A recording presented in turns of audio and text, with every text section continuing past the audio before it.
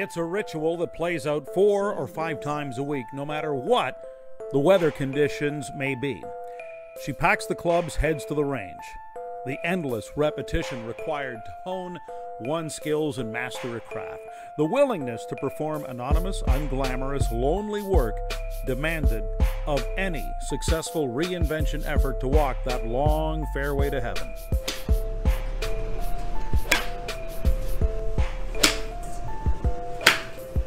We're here at the Golf Canada Centre in Calgary, Alberta. Lisa Longball Vlooswyk, first woman ever in competition to hit a golf ball three and a half NFL football fields, 350 yards, but also a great story of reinvention because this is the gal who had no prior golf experience to speak of. She was a competitive tumbler for sure and a gymnast and but really an elementary school teacher and in your mid 20s Lisa tell us the story. People would love to hear it how you just went out one day and picked up this incredibly humbling game called golf. Uh, it, and it truly is humbling Garrett you know I my only experience grade 8 my dad dragged me out to a junior night. I was his last hope at a golfer in the family.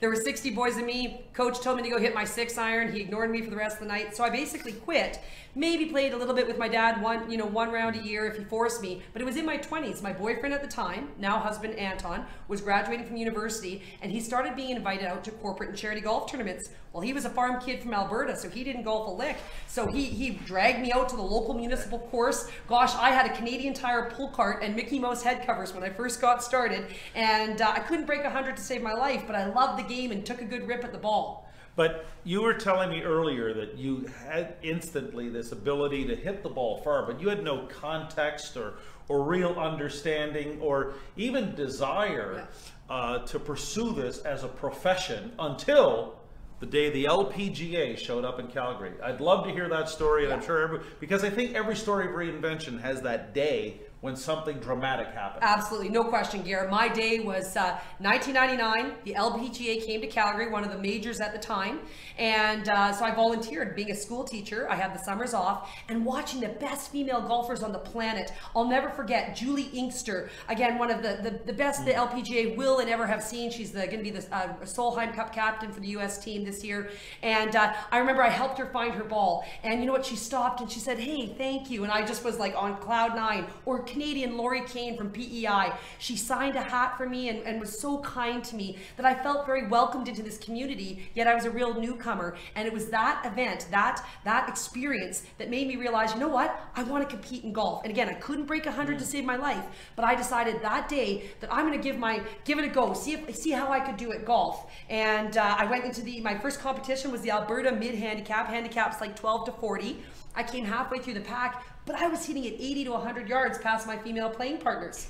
And within a year, I got my handicap down to an 11. Still no coaching at this time, and uh, that's when I that's when I knew I was long. I was 70 to 80 yards past all these top NCAA girls, and that's when I knew I was long.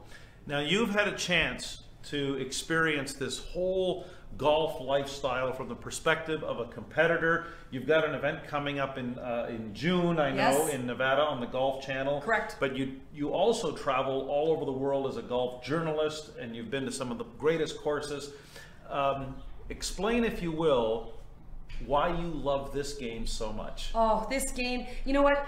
To say that you do for a living what you are absolutely passionate about, I can say that. Mm. You know, I was passionate about teaching of teaching and learning, but I'm just teaching in a different way now. Right. I love this game. I love this game for women and juniors, for families, for couples. It's just and it's a game that you can play into your 80s. So few sports you truly could play into your 80s. To be outside and feel the sun shining on your face, I'll literally just and, and, what it's offered me, as you said, Gare, here I was an elementary school teacher. I started competing. I, I there was a competition. I saw an, an, advertisement for a long drive mm-hmm. competition. Mm. I entered. I won with a 313 yard drive with a set of clubs from Costco, and that was kind of history. So now I compete all across North America. I've won seven Canadian long drive titles. I've um, uh, had a chance to all this. I, I, became a corporate and charity golf tournament entertainer. I had a company say, "Hey, Lisa, come out to our corporate tournament. Come stand on a par five, hit balls for guests, raise money for charity." I started speaking at the dinners. Then I was invited to be a keynote speaker. Well, and that and that's a whole other story yes. of reinvention because I know you're also very much in demand as a professional speaker. And I love it. I, you know, I get to share my story of how I went from a 30 Right. plus handicap to the seven time Canadian long drive uh, champion. The, the title of my keynote is Drive Determines Distance. I absolutely am passionate and believe that knowing what drives you and inspires you absolutely will determine how far you go, Right. both personally and professionally. This is the best club in the bag. You know, people all talk about, you know, drive for show, putt for dough, but come on, when you hit that 300 plus yard drive, that feels way better than a 10 foot putt. You gotta give it a rip. Make sure nice, nice slow takeaway, and then boom! Oh, I like that one, Garrett.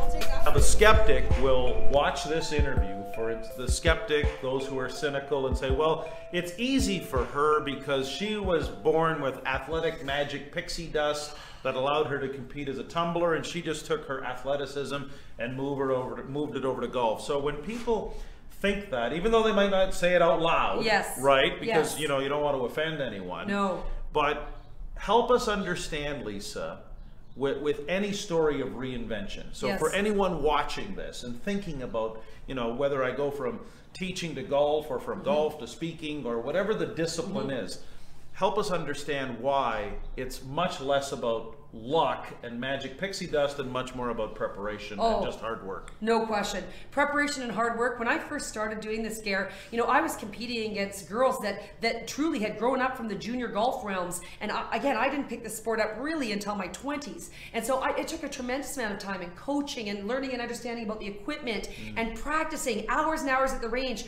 I, I'm a born and raised Calgarian. You know, we only get to golf just maybe six months a year. So I, I'm under heated stalls here at the Golf Canada Center. You'll Right. Find me, it'll be minus 10 degrees Celsius, and I'll be under the heated stalls hitting balls because that's what I have to do to be competitive on a world class level. Yes, did my gymnastics help me? No question. Balance, core strength, flexibility, Right. that, that that absolutely is the foundation. But a golf swing and a gymna- and tumbling, doing a round off back tuck are two completely different movements. But yes, I, I, I can use my some of the, the, the aspects that I, I, I learned and developed as a gymnast. But really, it's putting the time out on the range. It's putting the time out there and and, and going with coaches, learning what that technique is to be to try to be the best in the world. Yeah, I know you're always out here like r- routinely four or five times a week hitting balls. Uh, let's wrap this up with a little bit of a Lisa Longball soliloquy on drive determines distance. If you had one last speech to give, and that person is watching right now, explain what drive determines distance means and how it's relevant to someone watching as they contemplate maybe they're at the crossroads of reinvention, thinking about moving from one thing to another. What would you say? You know what, Gare, I would have to tell that, that person, you know what, you need to take, what, what do you love? You know, I listen to people all the time complain about their job, being in a job that they absolutely hate. Yes, I understand you need to put food on the table, but you can put food on the table doing something that you're passionate about, doing something that you love. Take the risk. If I can tell you anything, uh, you know, I was in a safe job with a pension, uh, you know, with, uh, in a job that I did enjoy. But you know what? I had this burning passion in me to be a golfer. I know there's people out there that have a burning passion, something that they've always wanted to do or wanted to be. Do it. Try it. I cannot say enough. You know what? Yeah, you might fall flat on your face, but what if you don't? What if you don't? Get out there, find out, feed that passion, put some time into it. You don't let setbacks hold you back, and surround yourself with people who support you. You'll be a success. Lisa Longball Vlooswyk, seven time Canadian long drive champion, and uh, here at the, at the uh, Canada Golf Centre in Calgary. Drive does determine distance and hopefully uh, inspire you to recreate and reimagine the business, the career, the life that you deserve. Oh, there we go. That's the best of the day.